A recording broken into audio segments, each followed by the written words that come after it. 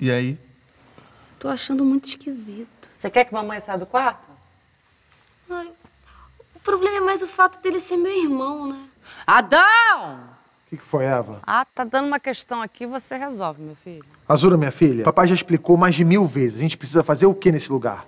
Povoar a terra. Eu e a sua mãe, a gente já transou o que tinha que transar. A gente já largou é boneco aqui nesse lugar. Eu já tô todo esfolado, eu não aguento mais transar. Chegou a hora de você e seu irmão colaborar. Então, por favor. O que, que eu tenho que fazer? Tu tem que transar com o garoto. Pois é, pois é, mas é, é meio errado, né? Tem teu pai, se tu quiser.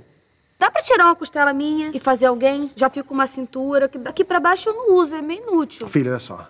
Eu já fiz a parada da costela, tá certo? Não é legal, não vale a pena. O pós-operatório é uma bosta. Então, por favor, libera essa micharia, arranca esse band-aid logo e vai com seu irmão, vai. Mas, ó, é Caim vai ser pai e tio do meu filho. E pra continuar a procriação, esse filho vai ter que ter um filho com uma outra filha que é filha do tio dele. Vocês não percebem? Isso é bizarro. Mas aqui só tem eu, sua mãe, você e seus irmãos. O que, que você sugere, então? Eu sugiro que, que a gente fique aqui, pá, de boa, nadando no rio, comendo umas frutas. E a humanidade? Ah, vai devagar, vai assim no, no tempo de vocês, procriando, você é mamãe. E a Dondoca não quer mais nada da vida, não. Não quer que eu faça uma caipirinha de lixê pra você, não, garota? O Caim cai dentro, vai. Tá bom, tá, tá, a gente vai. Vou tomar um vinho pra dar uma descontraída e já vou. Tá, e, e depois o Abel vem em mim, né?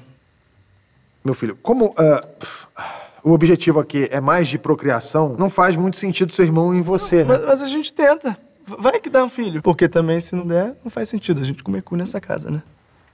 Ô, Abel! Dá um pulinho aqui, meu filho!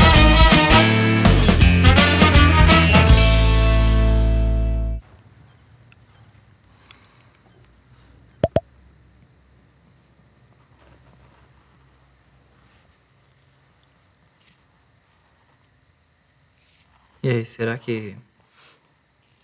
Você tá grávida?